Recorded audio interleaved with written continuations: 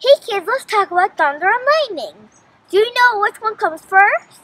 It's lightning. We see lightning first because light travels faster than sound. Lightning is an electrical bolt that breaks through the clouds and shoots out. It happens when the positive charge objects like trees and us attract the negative charges in the storm.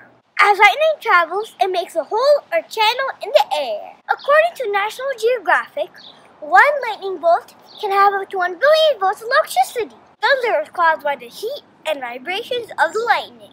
Thunderstorms are dangerous, so get yourself inside as fast as possible.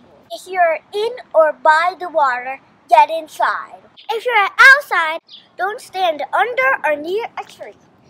Get yourself as low to the ground as possible. I hope you enjoyed this video. Hit that like button if you want to see more videos like this one. Do you know any facts about lightning and thunder? Comment below. And don't forget to hit that big red subscribe button below so we can stay connected. You're awesome. Bye-bye. Bloopers.